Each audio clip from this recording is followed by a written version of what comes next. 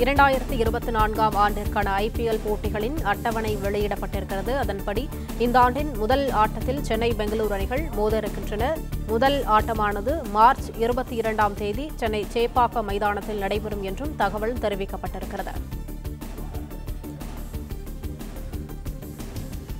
முதல் பதினேழு நாட்களில் நடைபெறும் இருபத்தி ஓரு ஆட்டங்களுக்கான பட்டியலை பிசிசிஐ வெளியிட்டிருக்கிறது. கூடுதல் விவரங்களை செய்தியாளர் மகேந்திரன் வழங்க கேட்கலாம். மகேந்திரன் வணக்கம். விவரங்களை சொல்லலாம். வணக்கம்.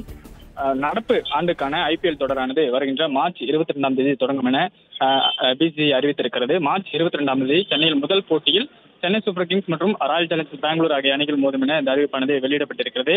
நீண்ட நாட்களாகவே இந்த மாதம் அறிவிப்பு வெளியாகும் என்று எதிர்பார்க்கப்பட்ட நிலையில் தற்பொழுது இந்த அறிவிப்பானது வெளியிடப்பட்டிருக்கிறது.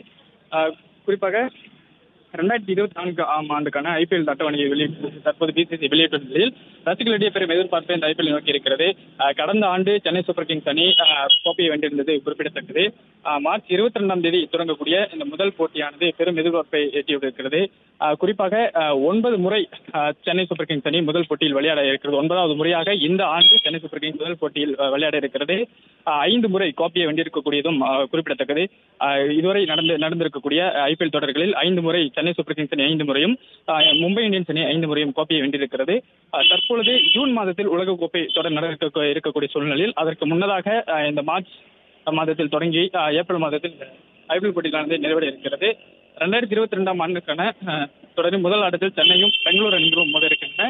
முதல் ஆட்டம் மார்ச் இருபத்தி ரெண்டாம் தேதி சென்னை சேப்பாக்கம் மைதானத்தில் நடைபெற இருக்கிறது. முதல் பதினேழு பதினேழு நாட்களில் நடைபெறும் இருபத்தொரு ஆண்டுகளுக்கான ஆட்டங்களுக்கான பட்டியலை தற்பொழுது பிசிசிஐ அதிகாரப்பூர்வமாக வெளியிட்டிருக்கிறது.